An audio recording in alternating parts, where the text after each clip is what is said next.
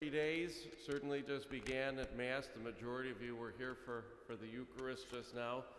And uh, for, for these three days of Lenten reflection and prayer, time of a, a parish retreat, hopefully we try to make this a, a privileged time, as I know you must because you've made the time to be here. Uh, please allow me to introduce to you, you see, you see his backside now.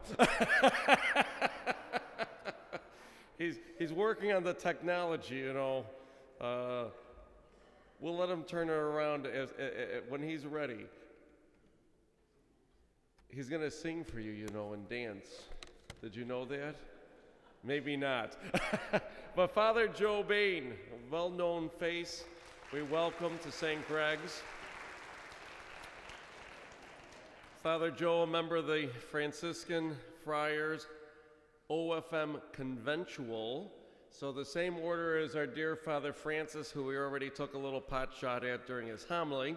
And uh, Father Joe, of course, is uh, legendary, and they mean that very sincerely. Legendary in, in, our diocese for his tremendous work with our teenagers. Um, South Buffalo, the Franciscan Center, which he has run for, for 28. I was just going to say, it's got to be about three decades now. I was doing math in my head. So 28 years and working with some, uh, some troubled youth, trying to bring them back into the uh, correct path. Certainly, uh, many, many years of service as a chaplain for our firefighters.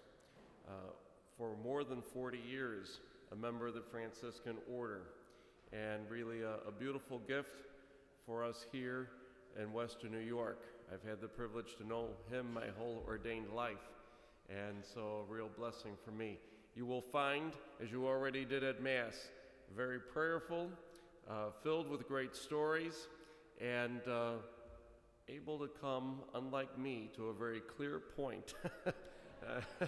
and uh, so we welcome Father Joe, who will lead us these three days. Welcome to St. Gregory's. Thank you for being with us.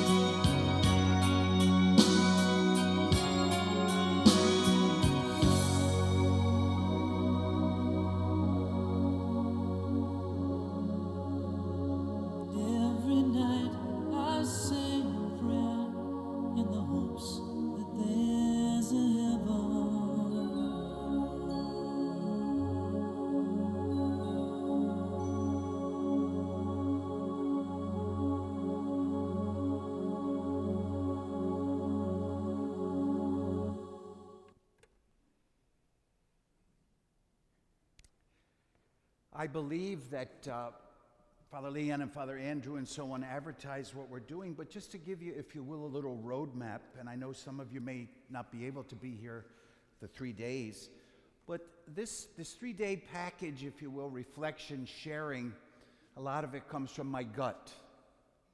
Uh, and I put it together, and I've done it with parishes and, and, and uh, you know, some other groups where we build. Today's Today's sharing reflection is entitled, Who Am I? Not this guy up here, but who am I? Each of us ask ourselves that question. And I say it means celebrating the gift of self. The tomorrow's sharing asks the next question Who is this God? Who is Jesus? Or the Spirit. And finally, Wednesday, we bring it full circle and say, Who is church? Not what. Who, give you a hint, who is church? Celebrating community. That's where we're going. You will not need a GPS. I use that song that uh, probably those that are very young won't remember and those of you that are too old like me, but I use modern music because so much of the work I do is with young people, and I try to grab them because they're our future. And to see some young, we have these in your size. But are you with her? I'm sorry. How about you? Well, talk to me later. I already started on young John. Our, oh, you got a real priest in the back. I'm sorry. But I think it's important, and I mean this not to blow my horn, because when Father Leon was talking, I don't like the limelight, but I'm in it. Uh, I wear this a lot. I'm happy with it. Worn it over 40 years. I wash it. but I do put on my bunker gear. Yesterday I was up the road on Sweet Home at that hotel, at the hotel fire. We evacuated a lot of people. Everybody was okay. I do get up in the middle of the night and go to disasters and emergencies. So if you see bags under my eyes, it's not because I was up kneeling praying all night. But I think you need to know just some other things about me. And I mean that not as a me, me, me, but then each of you are going to have to look at those things about you. I'm a type A, workaholic, maniac. I say yes to too many people, like that darn big parish in Williamsville. Can you come preach our Lenten retreat? And I say yes to too many funerals because I can't say no. And I certainly, today, just before I came, and, and one of my staff met with a, a young man, 20, who came all the way from Indiana because he supposedly his friend introduced him to a girlfriend here. So he needs to come and live with us because thank God the girlfriend's father said, You're not living here with us. And I gave the, the father of the girl a big bump high five and said, Yeah, be the dad. I do pray, but my spiritual director and confessor, whom I won't tell you his name, but I've had John for probably 25 years or more. He knows all my sins. And he always tells me, You're never going to be a monk. the monks down in Piffard, you know, at Geneseo, they're monks. They do silence and quiet. Franciscans, I'm sure Father Francis told you that Franciscans are not monks. Friar means brother in Latin, frater. We are mendicants, we beg. And so, whatever uh, your nice pastor gives me this week will help the youth shelter on Seneca Street. And maybe it'll even give me a day off somewhere where I can go away and not have to talk to people about their problems. But anyway, everything I share with you in these three days is stuff I truly believe. I truly believe. I am not a scholar. My preaching is from the gut. I may upset some of you. Some of you may get up and leave, but you can go to those rooms in the back if you need to go there. Um, but I've come to pray with you, and I hope your Lent, like my Lent, just draws each of us a little closer to Jesus and his cross. Because his cross took us to Easter. Uh, anyway, I shared with you a little bit about what these three days are. And when I put this three day retreat together many years ago, uh, it comes from remember in the gospel where the young man who was a good good person came up to Jesus and said, "Hey Jesus, what's the greatest commandment?" And that's what these 3 days are about. And Jesus said, "You shall love the Lord your God with all your heart, all your mind, all your soul and your whole being." And the second line we humans often forget. And you shall love your neighbor, community. But we forget that closing part of that line, which is tomorrow's, uh, which is uh, today's talk. You shall love your neighbor how? As you love yourself. So today, what I share in these moments is not meant to be some psychological hocus pocus, but it is right words from Jesus in the gospel. You shall love your neighbor as you love yourself. Uh, so today is not about what I am forever uh, telling my firefighters. I don't just go to fires, I go to fire companies and firehouses, and I sit with the chiefs and the commissioners and the hardworking men and women, and I listen to their issues and why they're struggling and fighting. And then after that hour, they look at me and think I'm going to give some fancy psychological response. And I look around the room at these people that I go and get smelly smoky with, and I say, Boys and girls, you need to grow up. You need to remember why you wear those pagers. And you need to remember why you joined Hutchinson Hose or East Amherst or Swormville or Getzville or and they look at me. So today's talk is not about that stuff where I have to challenge you and me to watch our head as we leave the doorway, our big egos. Today's talk, reflection, sharing is what Jesus said love your neighbor as you love yourself. When I counsel, whether it's troubled young people or adults, I ask them these questions. And I ask you. Don't shout out the answers because you might be embarrassed, so just be quiet. Behave. He's smiling. Thank you. Are you satisfied with yourself? Have you ever said, I think I'm not very good? Do you, as the human being God made you to be, man or woman, young or old, old, do you have some good qualities?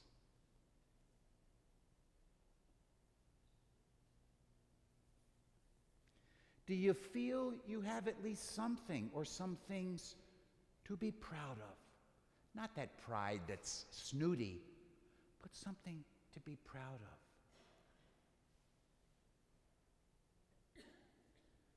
Do you feel useless at times? Are you worth at least as much as your sisters, your brothers, your peers, your family members, your workers? Do you wish that you had maybe more respect for yourself?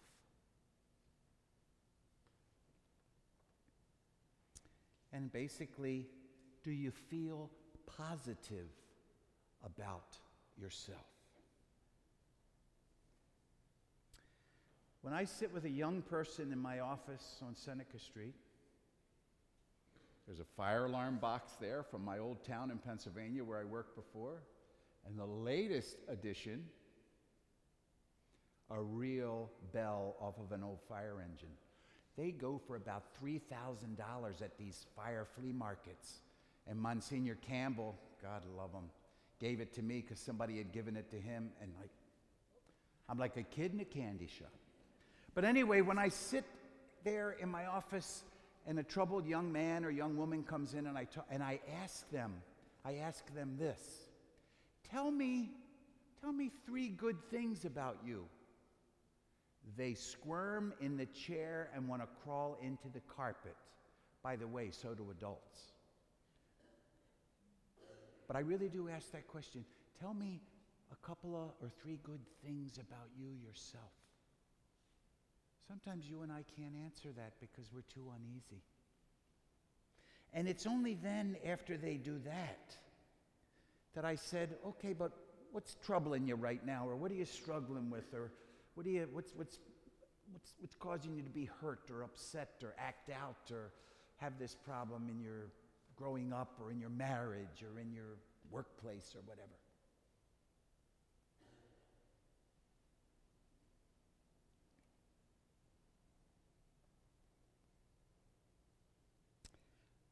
If you see where I'm going, when I give these kind of talks, as I do periodically to youth groups or to parent groups who are struggling, being a parent is the toughest job in the world, way tougher than mine. Way tougher.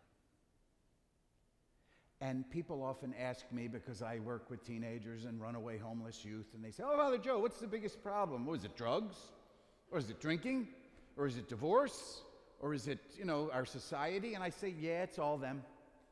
But the, in all my experience, and by the way, this is not just with teenagers or young adults, in my, it's in my experience in working with any group and in working even in my own, working on my own soul. The number one issue I see is exactly of what Jesus had in mind in that great commandment. And it's exactly what I'm sharing with you today. Don't come back tonight because I'm going to say the same things. Go, go, home and say a prayer and don't watch the news either. Oh my God, you'll need antidepressants. But um, the biggest problem I see sometimes is that he or she do not love themselves, do not respect themselves, do not believe in themselves. We've studied this We've studied this throughout the country, and it's funny, we have the answer, but we can't seem to get to the bottom of it.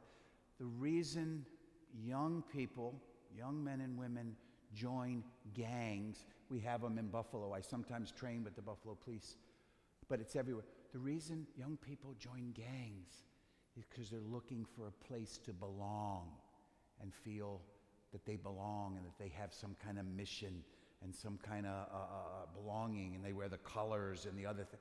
Sad. But it happens with us too. Sometimes we want to belong. And for you to belong to this family here at St. Gregory, you got a gift. He didn't pay me to say this, the guy in the white sweater. We need to believe in ourselves. Believe in ourselves. Uh, when I was a high school kid in Baltimore at our high school, it's where the Franciscans got me, but we can still get you. Um, Father James, he's long died. His, his uh, baptismal name was uh, Wutkowiak. No, it's not Irish. Uh, but his family, I guess, changed it to James Elliot. And Jim worked with the secular Franciscans, the old thing we used to call the Third Order. So he'd come to give us talks. I belong to the Third Order. And he said this, and it's stuck in my head since I was a teenager. God don't make junk. Sounds funny, corny? Not at all. I've said it to kids and adults many times over the years. God don't make junk. We're all sinners, absolutely. But God don't make junk. And I think you and I need to hear that sometimes. I know the young people I work with need to hear it. God, don't make junk. And keep this in mind for tomorrow, because I told you these three days, the three topics, they're going to repeat. They're going to be intertwined. And I really mean that. keep in mind that your or my image of ourself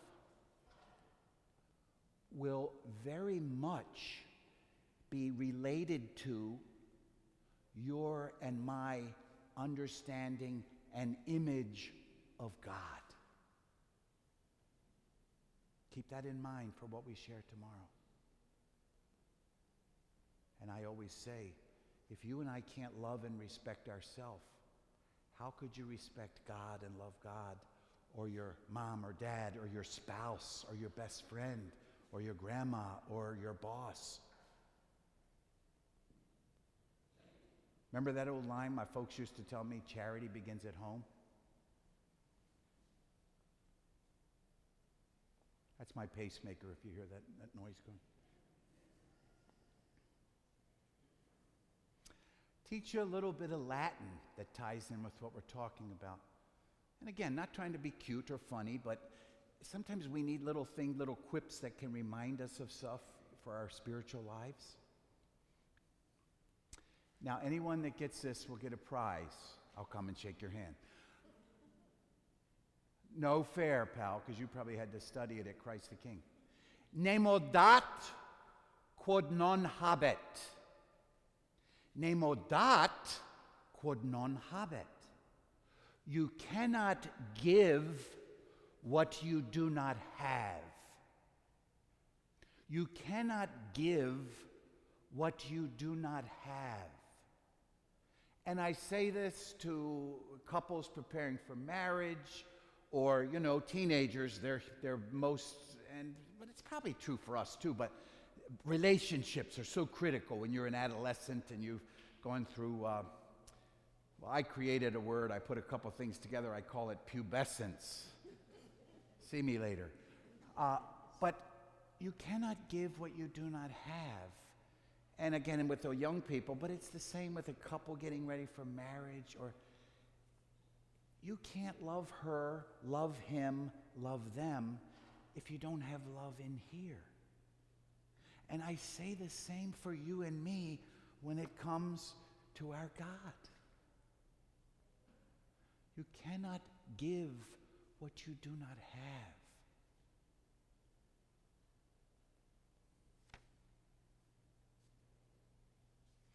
And I mentioned at the Mass that St. Joseph, beautiful picture of Joseph holding the baby and Mary asleep on the hay.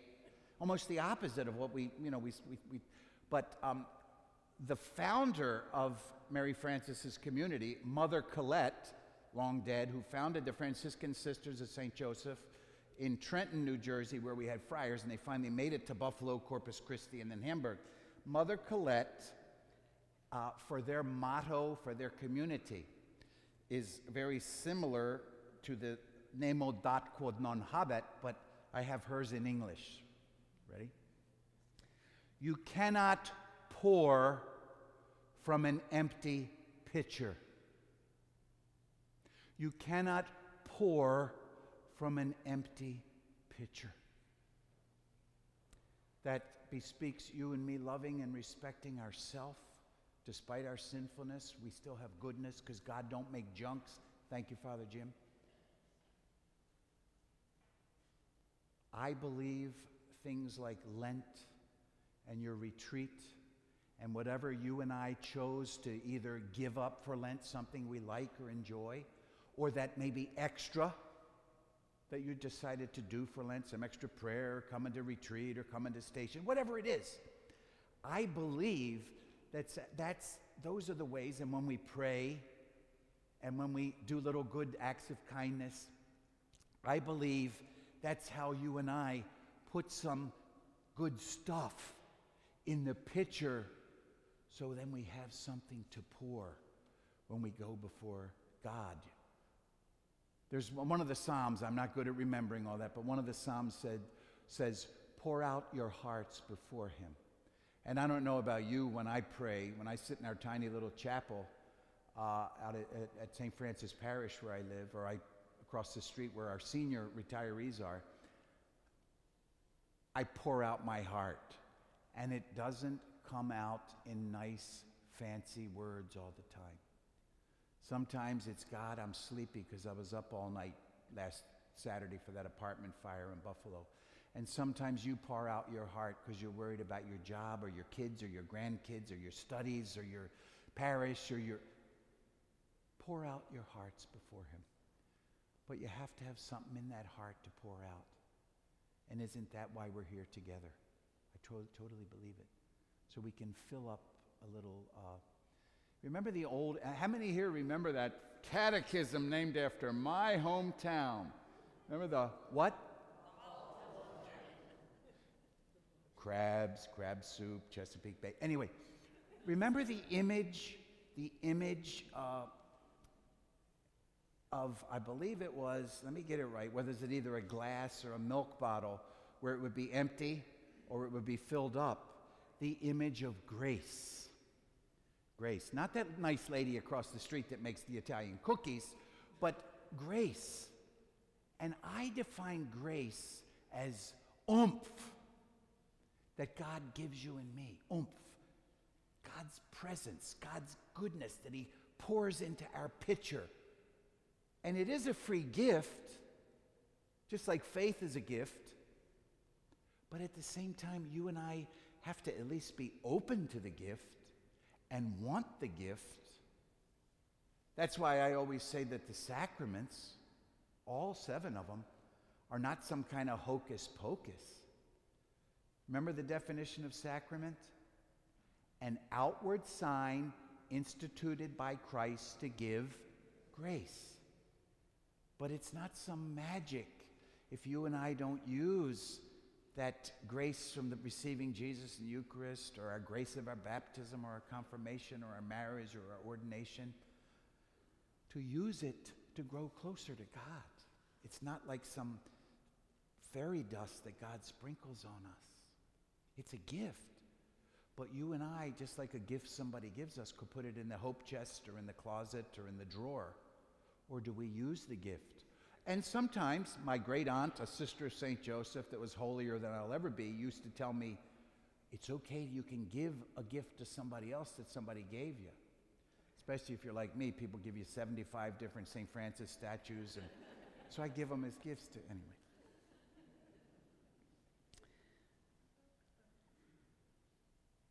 I give, sometimes as a pen, I, I don't give Hail Marys out in the confessional for the sacrament of reconciliation.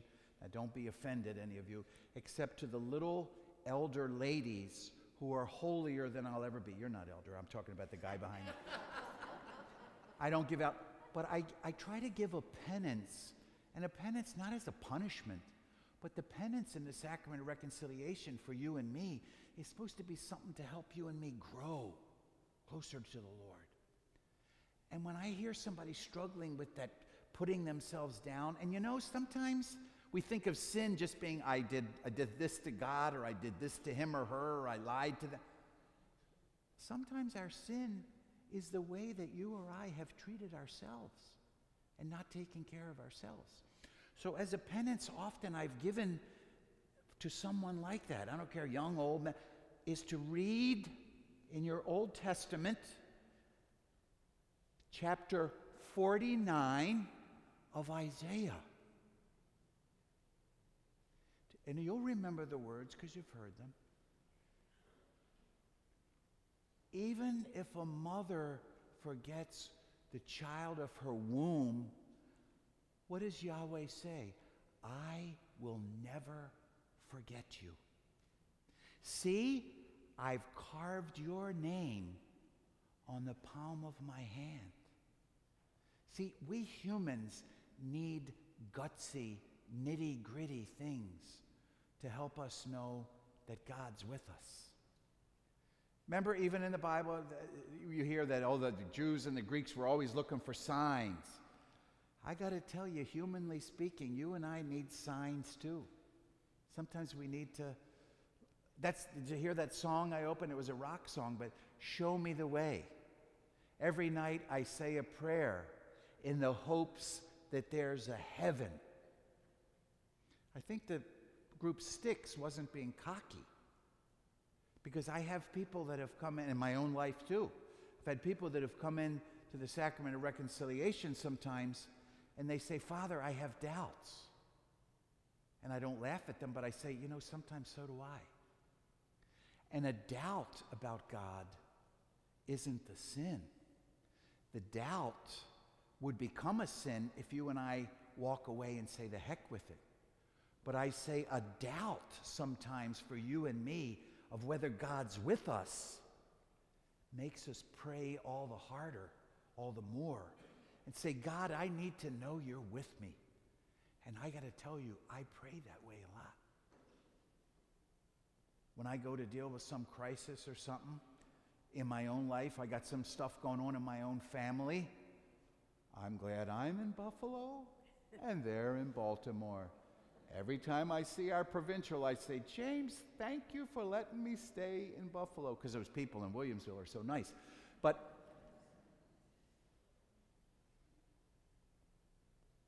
when we have doubts, makes you and me lean on God more. It really does. The doubt's not the sin. It's if we quit and give up and walk away totally, that would be the sin. So you don't just hear me, one of my buddies. Franciscans and Jesuits always over the years. But I know at least three nice ones.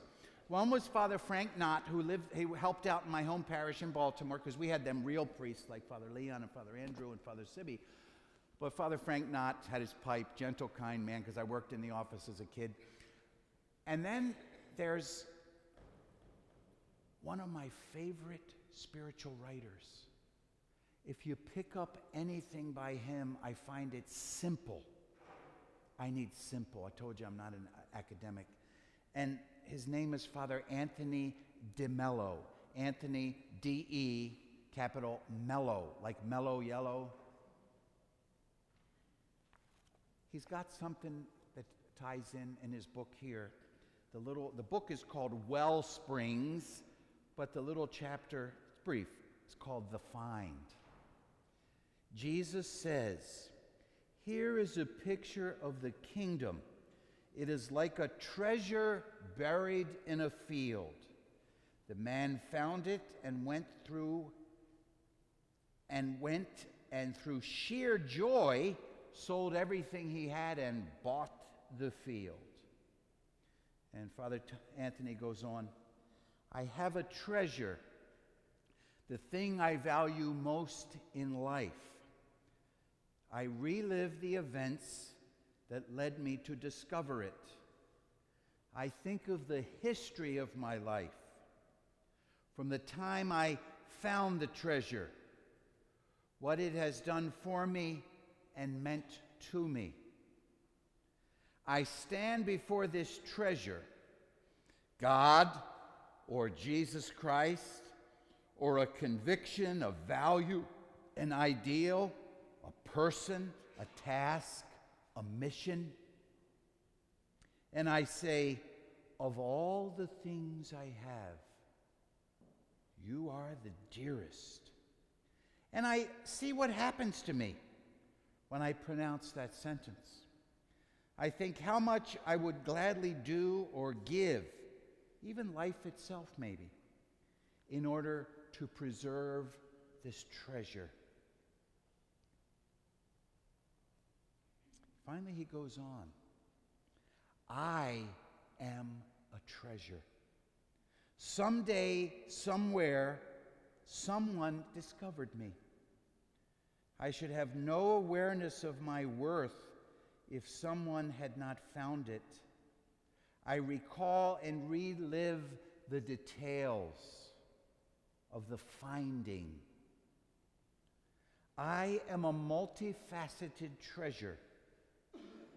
There were many things concealed in me that different people drew out and revealed to me.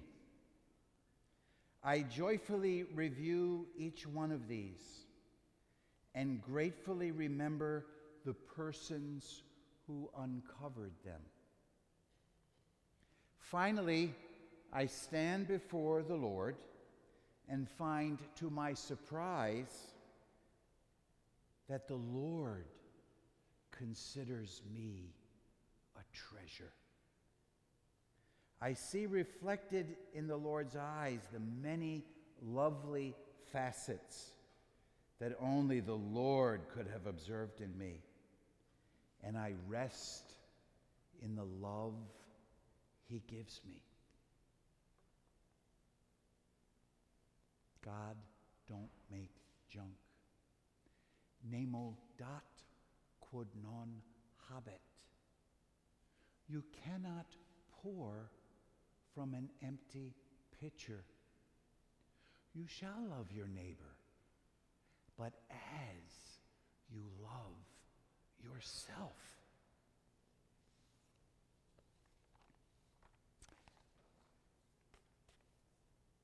The other one I love, I don't have his book here, but I have so many of them at home, uh, died some years ago. I continue to read his stuff. He was a priest from Holland, not Holland, New York, in the Speedway, but Holland, you know, across the ocean. His name was Father Henry, H E N R I, Nouwen, N O U W E N. His writings, in my opinion, are profound, but they're simple enough for somebody like me to understand. And the little paperback book that he wrote long ago, that Sister Helen, Mercy Sister at St. Peter's Hospital in Albany, now gone to heaven, made all of us that she was training as hospital chaplains back in 1973, you probably weren't even born yet. She was hard as nails and holy as the holy women in the Bible. We'd have group therapy, you know, we that were training as chaplains. One was a married woman, a nurse, whose husband was a deacon. One was a priest from India. No, not Father Anthony DeMello. And another one was a classmate of mine who left the order. Now he's married, raising kids, doing great things. And who else? Brother, brother of the Holy Cross. She made us read Henry's book, and it, it became part of my life. And it ties in with today's sharing, today's reflection. He calls it, and it's an oxymoron. Do you know what that means? Like two opposites? It's called the wounded healer. You know it? I've reread it and reread it and made people read it. And it has helped me in my ministry with troubled youth, my ministry with first responders, and it's mostly helped me to deal with myself and not give up on myself. The wounded healer.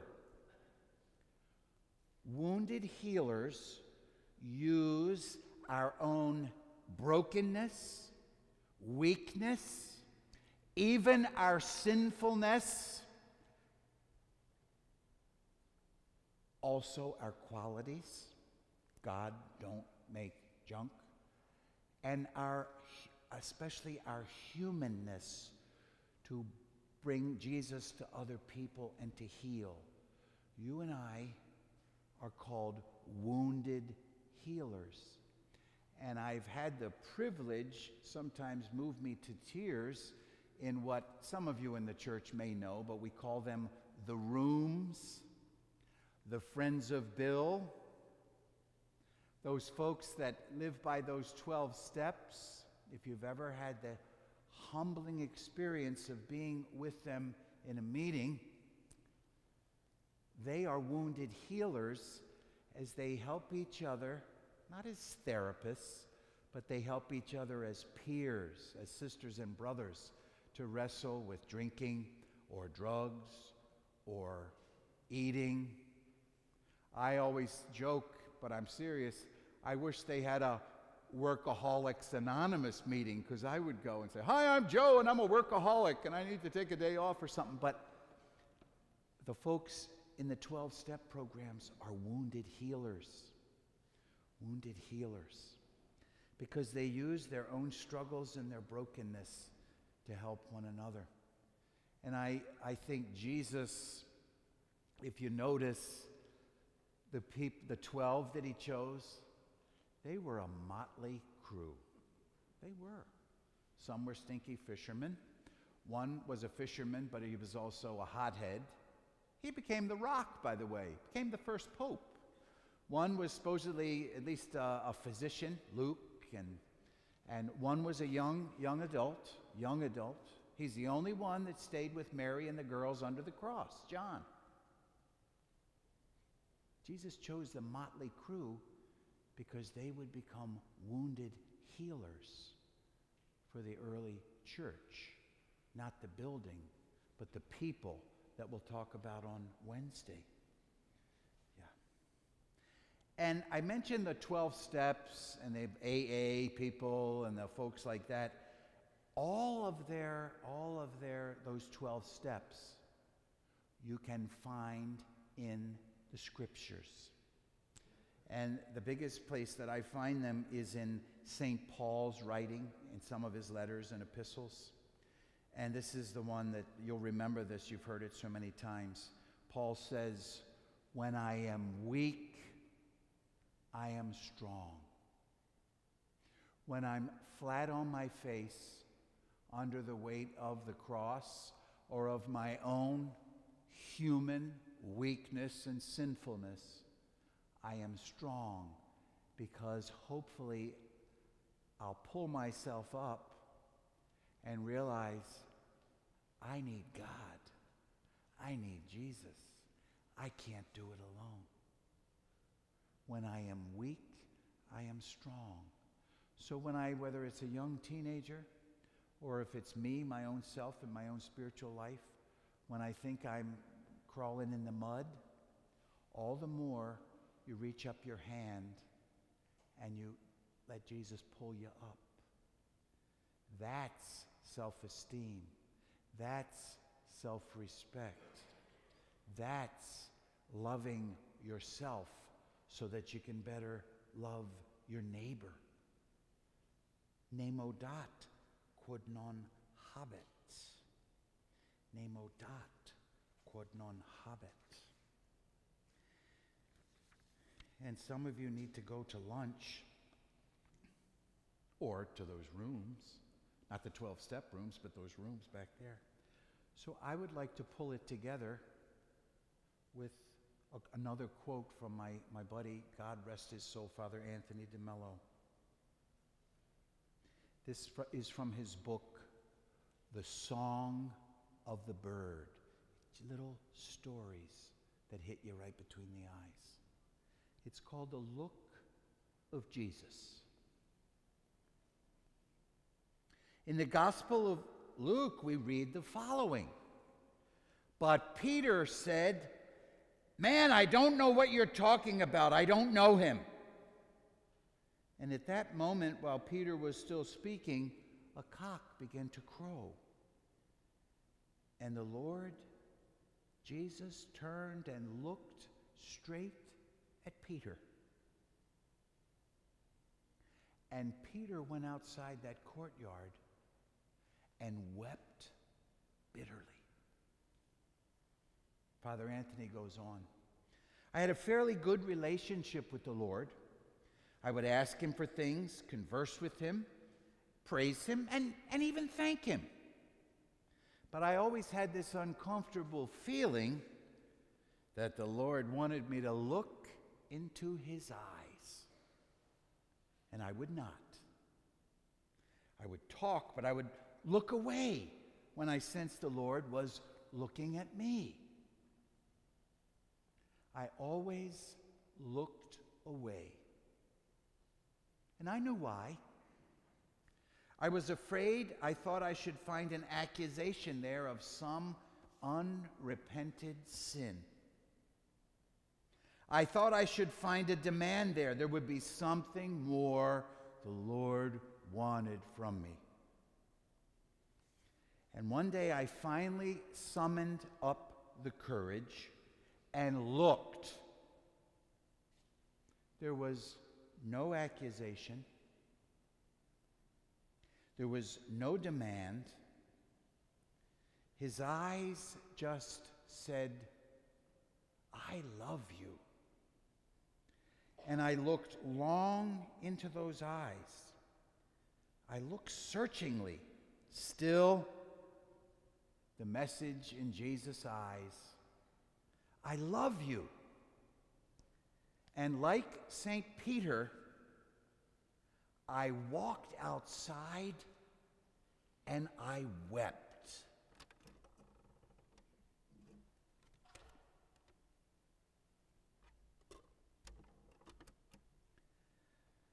I would like you to listen to this closing song and don't laugh. It's not meant to be schmaltzy. I used it the first time many years ago for uh, a wake up at St. Francis in Tonawanda. Uh, dear friends, a couple, and I know all their kids and their grandkids, and the dad died. And the kids were all hurting because their dad had taught them lots, just like some of you who are parents. And I used this song, and one of the uh, sons and his wife got up. And it's kind of funny because he had no clue, but Father Leon at the beginning said, Oh, he'll probably even dance for you. Not. But I ask you to listen to the words of this song as if Jesus himself is saying them to you and to me.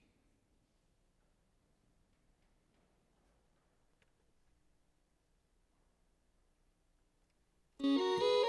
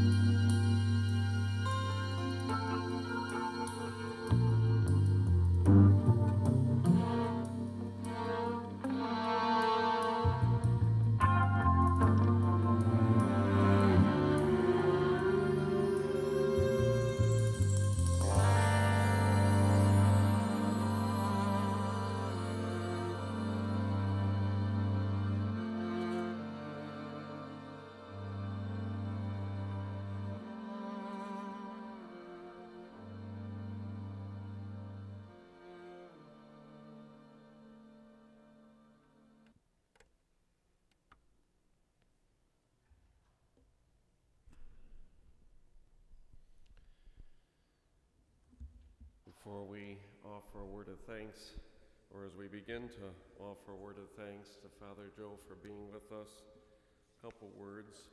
First of all, I was very grateful to be sitting behind Kathy Delaney and Beth Garish, who run the store. You know, Kathy runs it. So I had to ask them if they could return the statue of St. Francis that we bought Father as a gift. Uh, number 76. but uh, the uh, beautiful message, and I, I hope a couple things today that we all look at these three days, really all of the days of Lent, but these, these days to try to make sure the picture is a little fuller. That's a correct English term, I'm not sure, but there's more in the pitcher because we, we can't pour from an empty pitcher. I know on a personal level, many keep questioning me why I'm taking a sabbatical, you know, after 25 years. I want to make sure the pitcher stays filled. So it's important, just as important for us to take these days to pray together and listen and reflect. So, too, throughout our lives, we do that. Secondly, I hope that we really take the question that uh, Father began with that he shares with the young people who come to his office and maybe really go home today and pull out a little notebook or journal or card and answer the question what are, three great things about you? I think it's a very important question that we need to ask throughout our lives, but especially as we enter into these days of retreat. And, and from my perspective as a pastor, there is a, a, a real message for our parish this year. You know, I prayed at the masses this weekend, the ones I presided at, that that uh, Father Joe be anointed with the Spirit to speak the words needing to be heard at St. Gregory the Great. And I'm not sure that all of you will appreciate, some of you here will know. All four confirmation retreats this year, we discussed with the teenagers the very point that they are enough.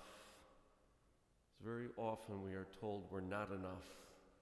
At all four confirmation retreats, we, we discussed that. And we, in February, had a, a full day staff day, and, and the individual leading us, very same topic came up. You need to see that you are enough. And even though Father Joe did not use that exact term, I believe he is calling us to the exact same message to see that goodness in us and to see that we are enough in God's eyes and to capitalize on that goodness within our life. I believe that's a real message for our parish, our parish family, for each one of us individually, particularly in the challenges of of our culture. And when we have those moments of doubt and they come, as Father Joe so beautifully said, you know, we're in good company. Good Mother Teresa, you know, of Calcutta, she doubted too and wondered. But those moments of doubt call us to persevere. I'd like to thank Father Tom and Sister Sean and, and Katie Wagner, uh, who really bring these days together in preparation for us.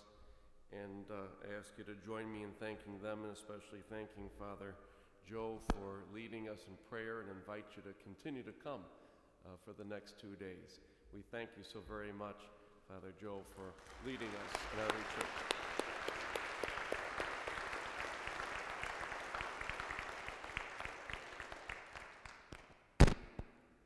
And I was calling Father Tom, Father Andrew all this morning. Sorry. What's this guy's name in the white sweater? Father Richard? No, no, no. Uh, I kept you very long. I'm going to uh, stay out in the lobby for a, a bit to uh, just to say hi to you and so on. I hope I see you tomorrow or the next day. Again, we're at 7 p.m. as well, you know, both days. Um, pray for us, please, the work we do with troubled young people. Pray for uh, one of my staff who's going through an absolute nightmare in a family situation. And he's a young man that I just love and respect because he's full of, full of goodness. And oh, thank you. And then, uh, just so you know, I won't. So I can come back tonight at seven. About four o'clock, I'm taking the kids from our shelter and some of my staff to St. Luke's Mission's uh, St. Joseph table, just to get a little nourishment. It's down on. Um, it's at the Italian Club in Lackawanna. So don't worry, I'll be able to come back tonight and talk because I'll have some some nourishment. So uh, I'll be in the back. God love you. Stop. Oh.